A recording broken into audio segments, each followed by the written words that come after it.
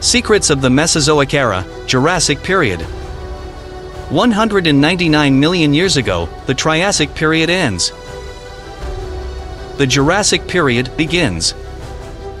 The active collapse of the supercontinent Pangaea continues. After the mass extinction, nature began to gradually recover. After the giant continent split, animals could no longer move freely across the planet. Abundant rain began to soak up the moisture of the ancient Triassic deserts, and the world became greener again, with more lush vegetation. As Pangaea began to split, new seas and straits emerged, harboring new types of animals and algae. Sponges and bryozoans, sea stars and sea lilies. The five-armed sea lilies became common in the Jurassic giant coral reefs formed, harboring numerous ammonites. The ancestors of octopuses and squids, the belemnites, appeared. The Jurassic seas were home to many different species of fish. These included rays and sharks, as well as bony, cartilaginous, and ganoids. Radian fish occupied a dominant niche in the Jurassic period. The largest ray-finned fish of that time was Leedsichthys, the creature reached 16 meters in length and fed on plankton, like modern whales and whale sharks. In the Jurassic, the first herringfish appeared. Cartilaginous fishes continue in decline, apparently because ichthyosaurs and Zoropterygiae successfully compete with sharks. During this period, one of the oldest shark-like fish, the helicoprion, which had been known since the Carboniferous period, dies out. In the Jurassic period, there were fewer ammonites than in the Triassic.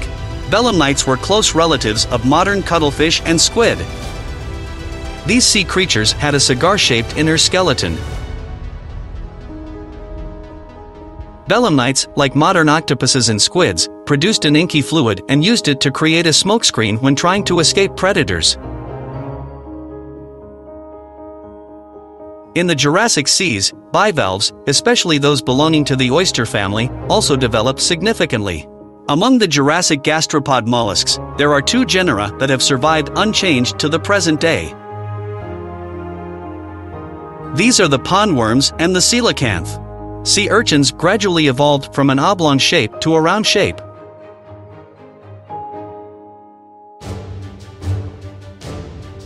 On land, in lakes and rivers, there were many different species of crocodiles, widely dispersed over the globe.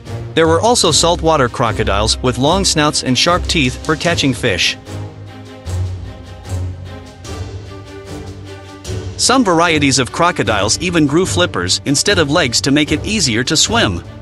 Tail fins allowed crocodiles to develop greater speed in the water than on land. New genera of fossil turtles appeared, and modern turtles appeared at the end of the Jurassic period. A huge number of species of plesiosaurs and ichthyosaurs appeared, in serious competition with the new, fast-moving sharks and extremely agile bony fish. Freshwater bodies were home to a large number of amphibians. These are almost modern salamanders, frogs, and worms. Many crustaceans appeared, these are the bipeds, 10-legged, leaf-eating crayfish, and freshwater sponges. The first ichthyosaurs are known to have appeared as early as the Triassic period. In the Jurassic, these reptiles adapted perfectly to life. Although ichthyosaurs were thought to be reptiles, the fossil record suggests that they were viviparous, producing offspring as mammals do. It is possible that the offspring of ichthyosaurs were born on the open sea, like whales. Plesiosaurs were also a large group of predators that lived in the Jurassic seas. Plesiosaurs had a thick torso with four leaf-shaped limbs, a long serpentine neck with a small head. The marine predators hunted for schools of small fish with their flexible necks. another group of short-necked predatory reptiles. These are the pliosaurs. Pliosaurs spent their lives in great depths. Some large pliosaurs also preyed on smaller plesiosaurs and ichthyosaurs. The Jurassic seas were relatively shallow. Therefore, the remains of animals that were carried by sea currents or waves were well preserved in such places. The great vegetation of the Jurassic period contributed to the widespread distribution of reptiles. The very first dinosaurs appeared over 200 million years ago. Over the course of 140 million years, these popular creatures evolved into many different species. Dinosaurs spread to all continents and adapted to live in a wide variety of habitats. Some dinosaurs were no larger than a squirrel. Others weighed more than 15 adult elephants combined. Some were heavy on four legs. Others ran faster on two legs than Olympic sprint champions. Dinosaurs gave rise to the science of paleontology. So, most of the dinosaurs of the Jurassic period belonged to the order Saurischia. But there was also the genus Avianetasaurus dinosaurs, or the order Ornithischia. The suborders were divided into suborders, among which the most famous ones stood out. Sauropodomorphs. The suborders were divided into infraspecies. The most popular infraorder is the sauropods. Sauropods moved on four legs and had five toes on each foot. Their main food was plant food. Sauropods had a long neck, a small head, and a long tail. At the moment, there is a serious debate among experts in paleontology as to whether dinosaurs could have had two brains. Some argue that such creatures as Stegosaurus had a second brain. Others vehemently refute this theory.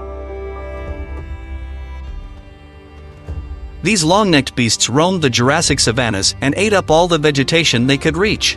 After a herd of sauropods had passed, the dense forest turned into a lifeless wasteland. Some species of sauropods lived in herds, with the adults taking care of children and juveniles. For other sauropod species, children were raised separately from their parents and the herd was joined by older individuals. In the Jurassic Park movie series, sauropods are shown chewing on leaves and branches. In fact, sauropods bit off and immediately swallowed vegetation. The food went into their stomachs and was grinded there already with the help of rocks, which the animals swallowed in advance. The most numerous family of Jurassic sauropods. Diplodocs and numerous varieties. The largest sauropod is considered to be Amphicoelias. The weight of this animal reached up to 150 tons and its length was up to 50 meters. Most individuals in the family of Diplodocus did not exceed 25 meters and weighed no more than 40 tons. The family of Diplodocus included such animals as Supersaurus, Apatosaurus, and of course Diplodocus himself. Diplodocus appeared before many sauropods and is the oldest dinosaur. This herbivore reached up to 28 meters in length. A Supersaurus of the same family spent most of its life grazing in swamps and lakes, where it was safe from predators. Apatosaurus or Brontosaurus was quite tall, had a large hump on its back and a very thick tail. Like all Diplodocs Apatosaurus preferred to live in swampy areas, from the Diplodocus family came another family called the Dicraeosaurs. These were small animals compared to the Diplodocus, no more than 10 meters long and weighing no more than 4 tons. This is the family Macronarius, the most diverse family after the Diplodocus. These sauropods didn't differ much from the Diplodocus sauropods. These animals made louder noises than Diplodocuses because of the large leathery sacs under their noses. The most popular species among the macronarians were brachiosaurs. Brachiosaurs could reach leaves from taller trees. Diplodocuses could not do this. Although all macronarians were small, Brachiosaurus was a true giant. The average animal was up to 27 meters long and weighed up to 50 tons. Brachiosaurus needed a daily diet of 500 kilograms of green matter. The smallest Jurassic sauropods were considered Anchisaurus. up to 4 meters long and only up to 30 kilograms in weight. Which sauropod had the longest neck? Mamenchisaurus. With a total body length of 25 meters, the herbivore had a neck length of 15 meters. There were also primitive sauropods in the Jurassic period. These were the Vulcanodonts, the ancestors of the Diplodocus and Macronarius. The bones of these dinosaurs were not hollow, as in advanced sauropods, but almost solid. Their necks were short. And the body was not adapted for total vegetation eating. Vulcanodonts could eat grass and eat trees, but in much smaller quantities than the descendants. These could weigh up to 48 tons and be up to 18 meters long. Another ancestor of sauropods that lived in the early Jurassic period, Shunosaurus. This animal differed from the other prosauropods in that it had a mace on its tail. This weapon was used by Shunosaurus to defend itself against enemies. In the middle of the Jurassic period, the prosauropods could not compete with evolution and died out quietly. And of course, in the Jurassic period, the suborder theropods flourished. Theropods represented all the predatory dinosaurs on our planet. Predators moved on two hind legs, which were almost indistinguishable from those of birds. Many theropods incubated their eggs like birds. Some theropods had feathers. For a long time, birds were thought to have evolved from theropods. Now, most paleontologists agree that birds were separated from the main lineage of archosaurs in the Triassic and that the resemblance of theropods to birds is simply a parallel evolutionary joke. The forelimbs of theropods look similar to those of humans, but the bone and muscle structure of theropods was quite different, and their arms were much less mobile than ours. Theropods could not rotate the hand, turning it up or down with the palm of their hand. And some carnivores had fingers that didn't bend at all. So, which theropods lived in the Jurassic?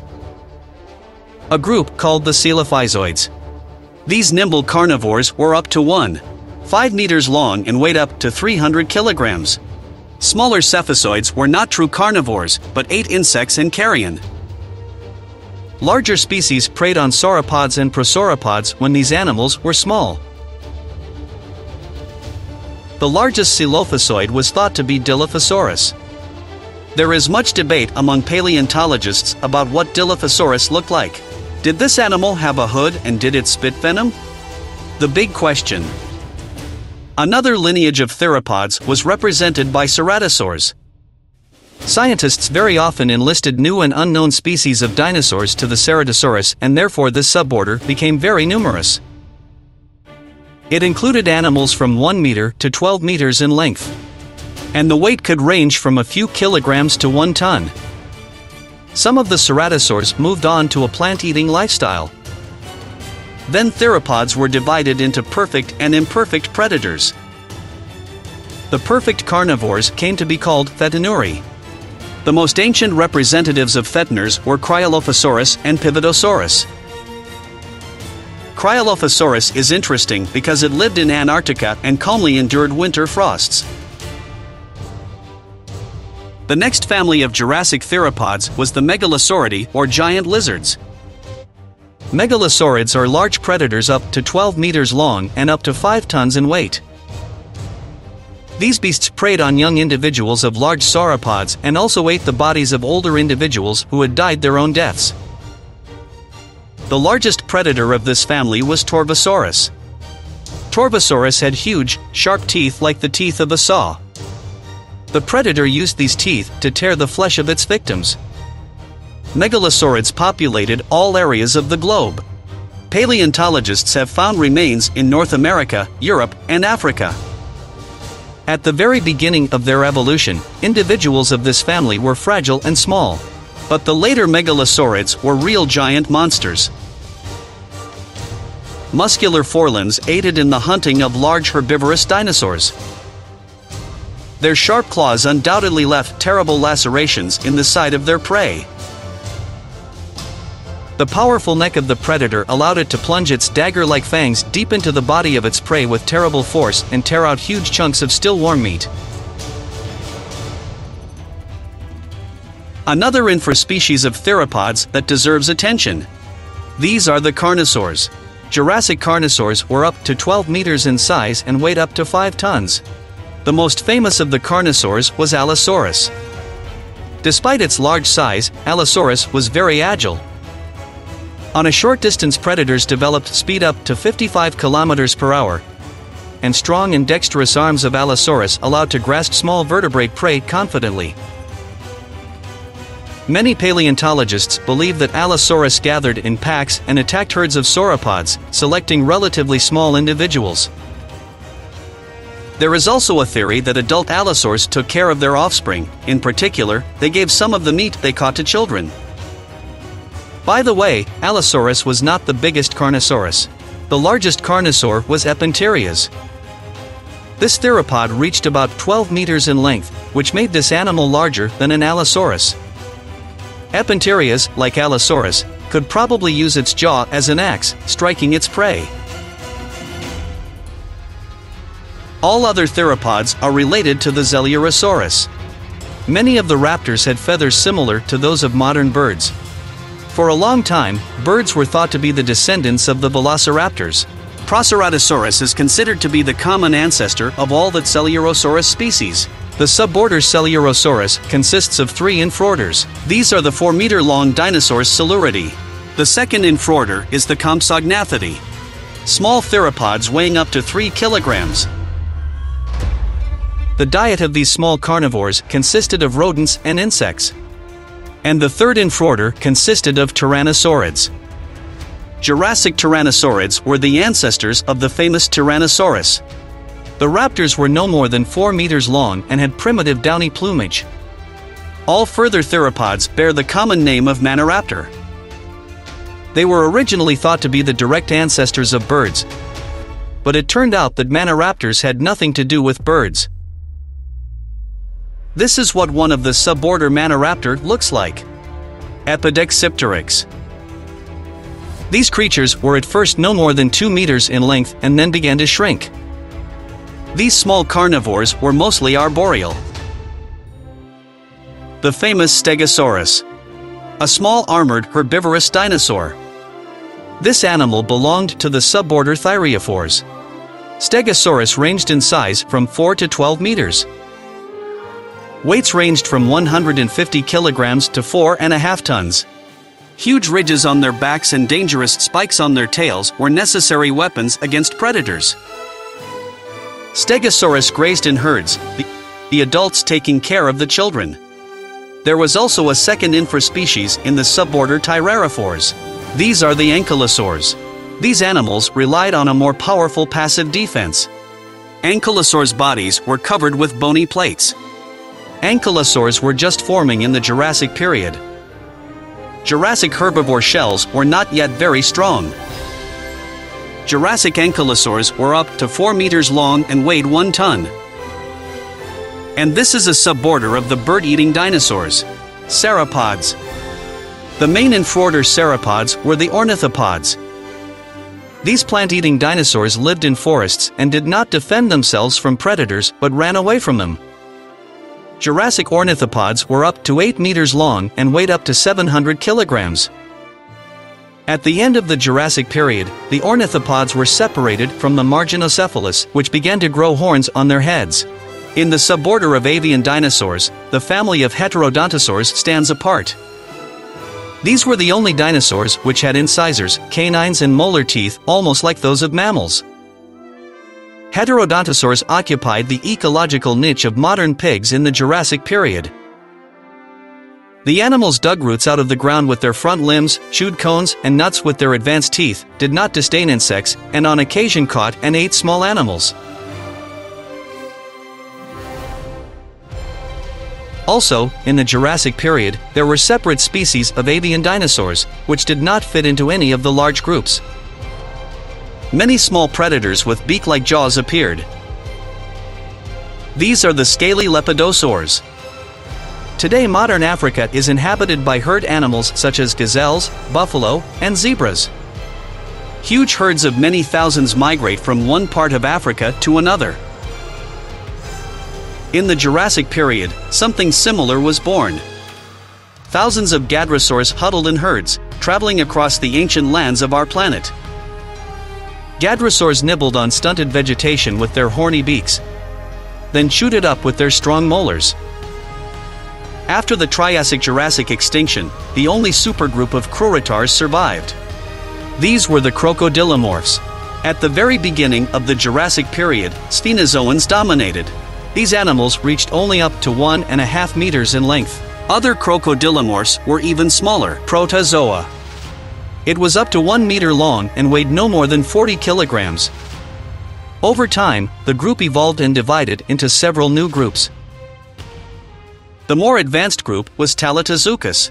These were saltwater crocodiles that had their paws turned into fins. Talatozeuchids are divided roughly in half into two families. They are the Metrorhynchidae and the Teleosaurus. Metrorhynchids reached a length of 6 meters and lived in the open sea. These marine predators developed a tail fin and learned to drink seawater. Like sea turtles, Metrorhynchids only came ashore to lay their eggs. Teleosaurs could grow up to 9 meters and lived off the coast. In appearance and behavior, these creatures were virtually indistinguishable from contemporary crocodiles. The ancestors of modern crocodiles belonged to the Neozeuchus group. They were Goniopholididae, which could reach up to 4 meters in length and looked almost like modern crocodiles. And the small rat-like land-dwelling Atoposauridae. Insect evolution accelerated dramatically in the Jurassic. Ancient nature was filled with the endless buzzing and crackling of many new species of insects, crawling and flying everywhere.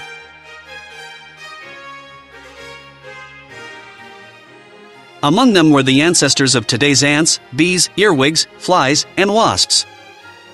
Many different dragonflies, beetles, cicadas, bedbugs, and spiders appeared. Later, in the Cretaceous period, there was a new evolutionary explosion when insects began to make contacts with the newly emerging flowering plants. In the Jurassic, thousands of pterosaurs took to the air. These were the first and largest flying vertebrates of the archosaurs. The evolution of these animals took off in the Jurassic period. The most famous pterosaurs of the early Mesozoic were pterodactyl and Rhamphorhynchus. Rhamphorhynchus had long tails, long narrow wings, and a large skull with numerous teeth. Rhamphorhynchus could take off from the ground. The masters of the sky settled on the banks of rivers, lakes, and seas. The wingspan of the Rhamphorhynchus could reach two and a half meters. The nestlings of Rhamphorhynchus could fly and feed on their own right after hatching from the egg. Among the Rhamphorhynchidae, the family Anurognathidae stood out. They were small insect-eating Rhamphorhynchus the size of a sparrow. In the mid-Jurassic period, the pterodactyls evolved from the Anurognathids. These pterosaurs had more efficient wings and did not need a tail to maneuver in the air. Pterodactyls were no different in size and lifestyle from the Rhamphorhynchids. Many pterodactyls had a long ossified ridge on their heads for improved aerodynamics. Flying creatures fed on fish, sometimes sea lilies, mollusks, and insects. Pterodactyls had to jump off cliffs or trees to take off. The first birds also appeared in the Jurassic. The ancestors of the first birds were the ancient reptile Pseudosuchia, which lived in the Triassic period and which also gave rise to dinosaurs and crocodiles. Three genera of Jurassic bird-like creatures are known. Archaeopteryx is more of a maniraptor than a bird. And Longipteryx is almost certainly a bird. Something like the modern kingfisher. But birds were still very rare in the Jurassic period. Another genus of animals that began to flourish in the Jurassic period. Lepidosauromorphs. The ancestors of lizards and snakes. Most of the Jurassic Lepidosauromorphs belong to the Zavropterigidae. They are marine reptiles with a lifestyle similar to that of today's seals. The largest suborder of Jurassic Zavropterygii is pliosaurs. They are large and very large predators with short necks, elongated heads and large jaws. Pliosaurs could reach a length of up to 20 meters. Pliosaurs had an interesting feature. It was a special design of the nostrils, which served not for breathing, but solely for sniffing water. Plesiosaurs differed from pliosaurs in having a small head on a long neck. Plesiosaurs were also predators, but they ate smaller prey. Jurassic plesiosaurs ranged in length from 5 to 8 meters. There were few lizards in the Jurassic. More than half were beaked-headed lizards, a type of modern-day Guttaria. Some of the lizards lived in freshwater reservoirs. The Jurassic synapsids consisted of primitive animals. Similar to modern platypuses and echidnas. The only known exception is the recently discovered beaver tail otter. This animal reached a length of 42 centimeters. Also interesting is the Fruitafossor, the first anteater the size of a chipmunk in the history of the Earth. Among mammals, carnivores appeared. Some of these animals adapted to life in trees.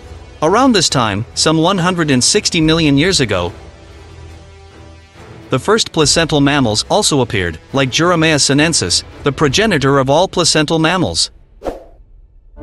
Thank you for watching this episode to the end. Give it a thumbs up and leave a comment. Don't forget to subscribe if you haven't already. Also click on the bell not to miss new and interesting releases from the channel Real Unreal.